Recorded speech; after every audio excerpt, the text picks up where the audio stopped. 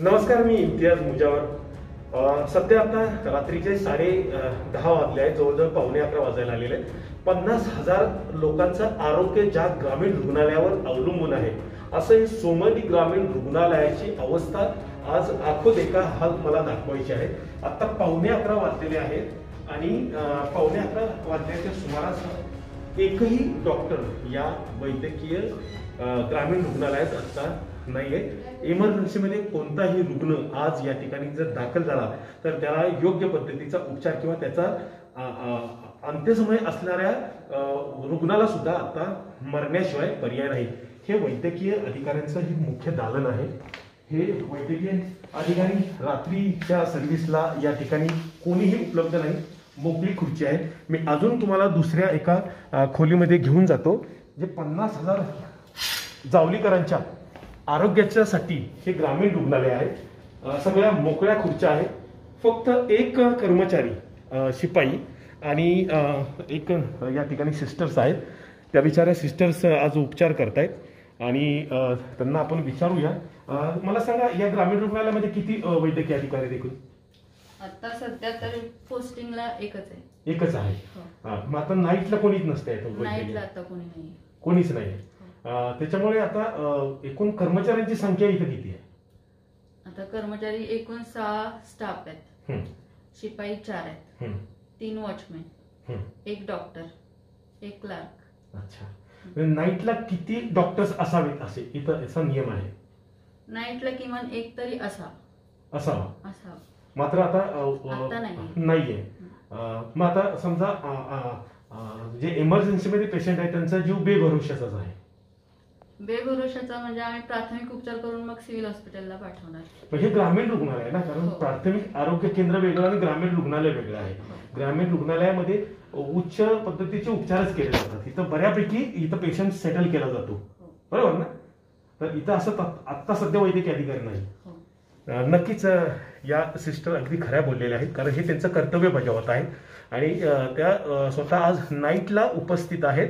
एवढ्या मोठ्या भल्या ग्रामीण रुग्णालयामध्ये कोणीही नाहीये. आपल्या समवेत एक रुग्ण इथे आहेत.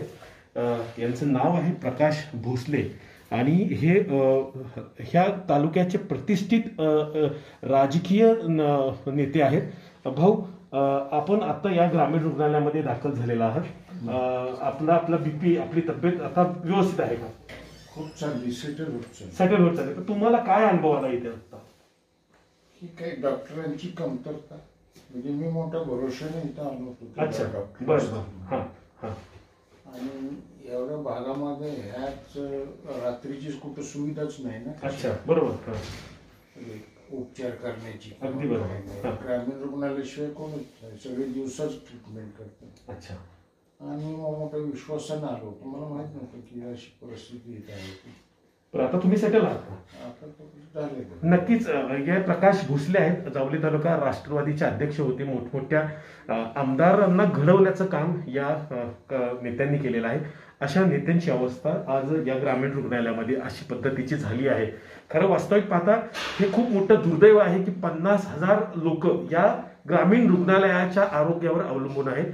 आणि इथे उपचाराला साधा रात्रीचा एक डॉक्टर देखील नाही हे तालुक्याचं खूप मोठं दुर्दैव आहे. त्यामुळे आता ही बातमी पाहिल्यानंतर जिल्हा शल्य चिकित्सक आणि ग्रामीण रुग्णालयाचे जे मुख्य प्रमुख आहेत त्याचबरोबर ज- या तालुक्याचे लोकप्रतिनिधी आहेत या विभागाचे जिल्हा परिषद सदस्य आहेत या विभागाचे पंचायत समिती सदस्य आहेत या सगळ्यांना खऱ्या अर्थानं या ग्रामीण रुग्णालयाची जी दशा सुरू आहे याच्याकडे लक्ष देणे गरजेचं आहे. त्यामुळे उद्या कुठलाही एखादा रुग्ण दगावला तर नक्कीच हे लोकप्रतिनिधी आणि हे सर्व नेते मंडळी जबाबदार असतील. या ग्रामीण रुग्णालयाचे वरिष्ठ अधिकारी देखील या सगळ्या दुरावस्थेला जबाबदार असतील. मी इम्तियाज मुजावर सातारा.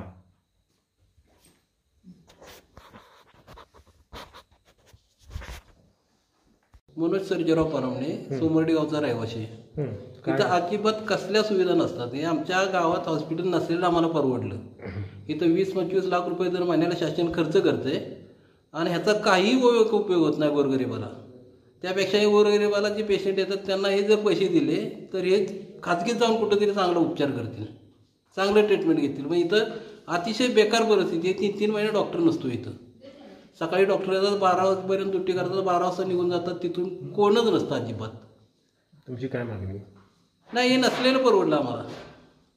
हे कसं माहिती आहे का सुविधा जरी मिळत नसली तरी हे नसलेलं चालतंय. काही उपयोग नाही हॉस्पिटलचा